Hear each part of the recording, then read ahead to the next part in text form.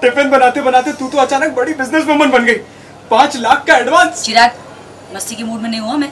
चुप। पर mummy this is crazy crazy नहीं स्केरी वो इतनी टेंशन में आ गई पाँच लाख का चेक लेके दस लाख का चेक रोज प्रूव हो गया? दीप्ति अभी चेक मत डालना बैंक में हरक में आकर मुझे सोचना पड़ेगा इस पे।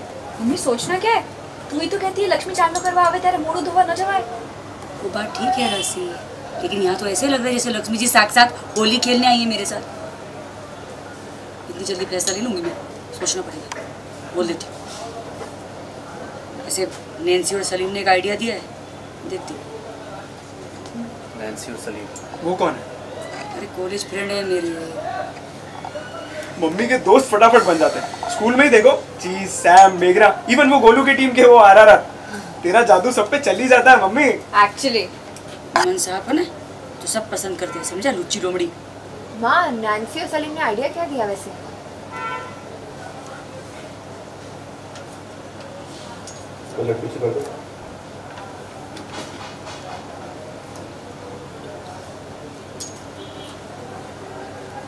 आइडिया बुरा नहीं है।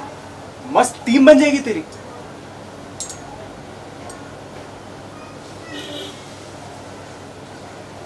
दीप्ति सबसे पहले एडमिशन फॉर्म चेक कर। कहीं उसमें ऐसा कोई क्लॉज तो नहीं है कि वहाँ पढ़ने वाला स्टूडेंट वहाँ पर या कहीं बाहर जो कुछ भी बुने उस पर उनका हो चेक कर। वीरेंद्र से तो लड़का कोई भरोसा नहीं है। अ पॉइंट दो बार। डबल चेक कर। ऐसा ना हो कि मेरे चक्कर में बचाड़े बच्चे तबलीग में आ जाए। ऐसे कितने स्टूडेंट्स होते हैं जो पार्ट टाइम जॉब करते हैं? कॉलेज के बाद ट्यूशंस देते हैं दूसरे कोर्सेज भी करते हैं। कॉलेज उस पर दखल नहीं दे सकते। वो खामा का परेशान होंगे अरे वैसे अब मुझे नहीं लगता कि वीरेंद्र सिकरवाड़ हमसे पंगा लेगा शाना होगा तो अब तक समझ चुका होगा कि हम भी किसी का तू जानता नहीं मम्मी भाई बिल्कुल ठीक कह रहे हैं तू बिंदास आगे बढ़ हम सब साथ है तेरे